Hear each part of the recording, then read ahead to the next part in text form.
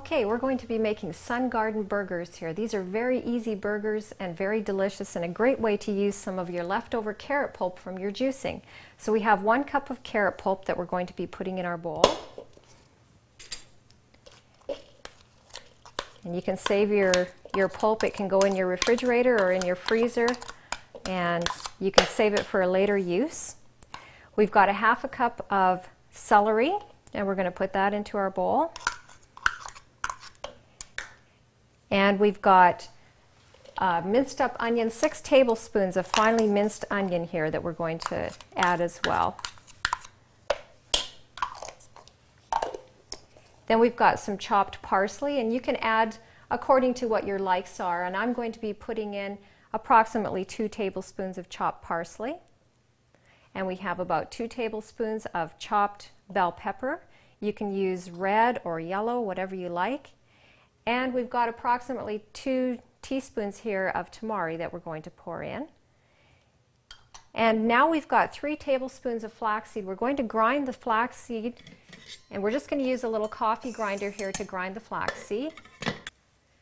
Okay, so we're going to grind these in the coffee grinder.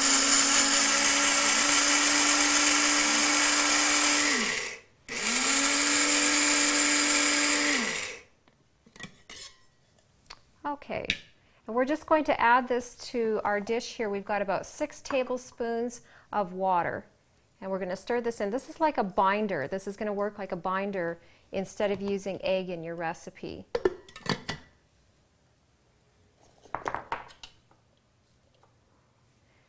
So we're going to mix that around in here a little bit.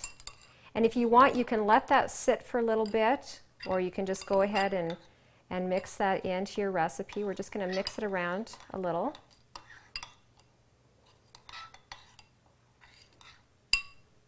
Okay, we're going to add that to our recipe.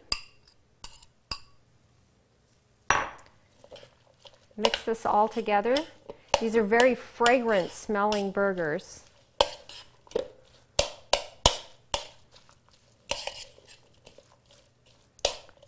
Okay, and now we have one cup of sesame seeds, or sunflower seeds rather, and we're going to grind these up in the food processor here.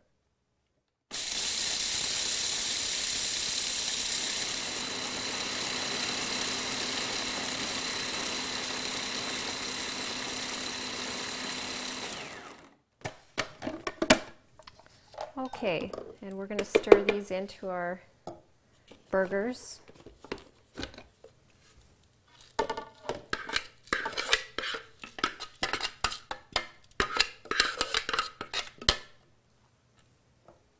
And that's all there is to these burgers. Very easy to do. We're going to pop them in the dehydrator here in a minute.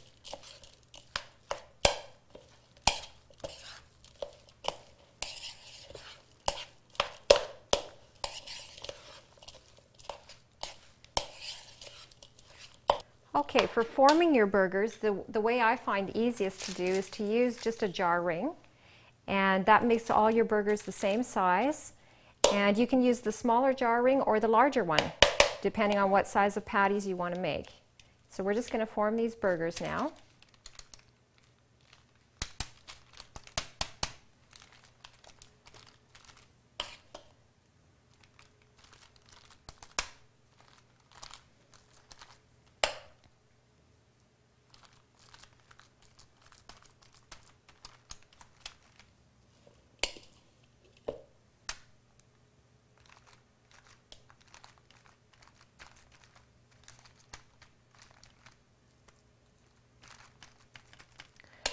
Okay, and there we have our burgers and they're ready to go into the dehydrator.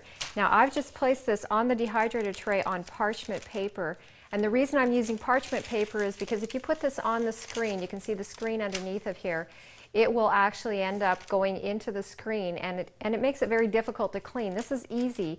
You put it in the dehydrator with the parchment paper and partway through dehydrating you just turn that over and take that parchment paper off and you can throw it away and your screen is clean. It helps speed up the cleaning process. So these are going to go in the dehydrator for about six hours and then we'll check them at that time, see if they're done and uh, we'll come back and show you what they look like. Okay, we're back with our finished Sun Garden burgers out of the dehydrator. And that's what they look like when they come out. And these are delicious if you want to make a little bit of a tartar sauce. You can do it with either cashews or tofu. Chop up a little bit of onion. I do homemade dill pickle that's done with lemon juice instead of vinegar and it goes delicious on these burgers. You can enjoy them for your lunch. So there you have Sun Garden Burgers.